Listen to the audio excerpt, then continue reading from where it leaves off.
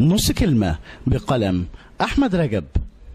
هذه قصة عجيبة تحدث أحيانا للكثيرين فلقد التقيت بإنسان مهذب. ما هذا؟ إنه إنسان أعرفه. ألم نلتقي من قبل؟ أبدا. هل تواجدنا من قبل مع أصدقاء مشتركين؟ لا. وتجهد ذاكرتك أكثر فهو إنسان مألوف جدا. فأنا أرتاح إليه وأرتاح إلى كلامه. أعرفه يا ناس من زمن هذا الرجل الودود. أعرفه فعلا وأكتشف في النهاية أنني أمام عبد الفتاح السيسي الذي يشارك من أول لقاء إنك تعرفه من سنين. أحمد رجب.